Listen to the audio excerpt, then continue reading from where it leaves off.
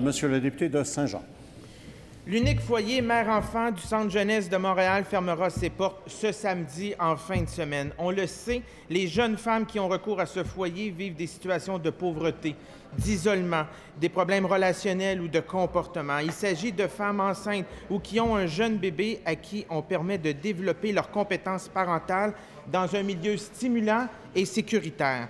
Une des intervenantes du centre mentionne on a vu des mères avec un pronostic très sombre au départ réussir à se reprendre en main et repartir chez elles avec leur bébé.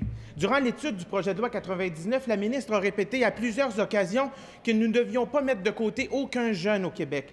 Pourquoi aujourd'hui la ministre n'est pas capable de prendre la seule décision possible et viable et maintenir ce centre ouvert pour ces jeunes femmes et ces jeunes bébés? Madame la ministre déléguée à la réadaptation. Monsieur le Président, ce qui est important ici, c'est justement les jeunes femmes et les enfants qu'elles ont. Et euh, dans le cas qui nous occupe, d'une part, vous dire que c'est d'abord une décision de l'organisation du CIUS. Ceci étant dit, j'ai bien l'intention d'avoir une conversation avec ces gens-là. D'une part, je me suis assurée ce matin qu'il n'y avait personne dans le centre et il n'y a aucune jeune femme qui est accueillie en ce moment. Alors, la fermeture qui est prévue demain ne mettra personne dehors. Je veux rassurer le député de Saint-Jean parce que je sais qu'il est capable de compassion aussi et lui dire que j'aurai des réponses plus précises à ces questions, mais en attendant, Monsieur le Président, moi, ce que je dois m'assurer, c'est que le travailleur social qui fait du travail pour le DPJ et qui nous assure que les évaluations vont se faire, que si une jeune maman a un bébé prochainement qui a besoin de services, qu'il y aura des organismes communautaires qui vont les accueillir et qu'ils vont continuer de dispenser les services. Moi, je ne suis pas là pour défendre des organisations, je suis là pour défendre les services affectés à ces personnes-là.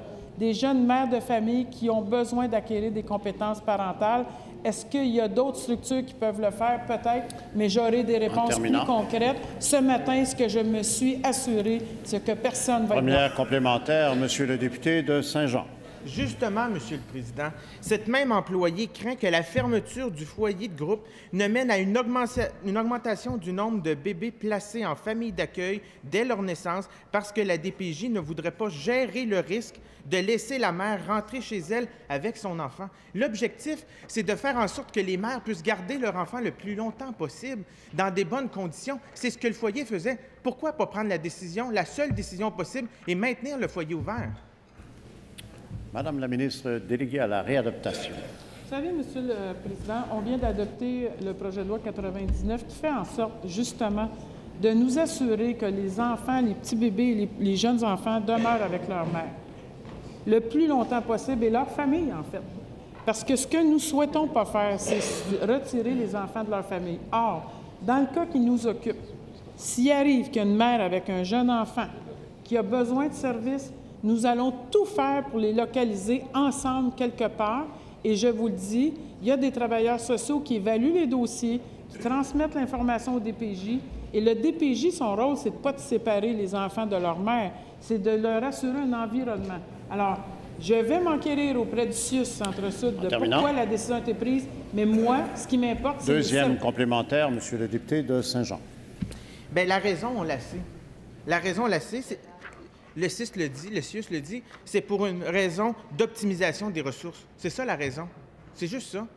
Mais il y a 55% des places qui sont occupées actuellement. Mais ces personnes-là, là, eux, là, ils n'auront plus ce service-là. Puis les gens qu'on a aidés, puis qui ont bien fonctionné, démontrent que ce centre-là a bien fonctionné et qui devrait continuer à fonctionner. C'est la seule réponse possible. Il faut maintenir le centre ouvert. Madame la ministre déléguée à la réadaptation. Monsieur le Président, optimisation ne veut pas dire rupture. Optimisation veut dire avons-nous des capacités ailleurs? Est-ce que nous devons tenir plusieurs endroits à mi-capacité? Moi, ce que je cherche, c'est pour ces personnes-là, Monsieur le Président, et je vais m'en assurer. Je, je, ne laisserai pas personne, aucune mère mineure avec son petit bébé dans la rue, je peux vous l'assurer.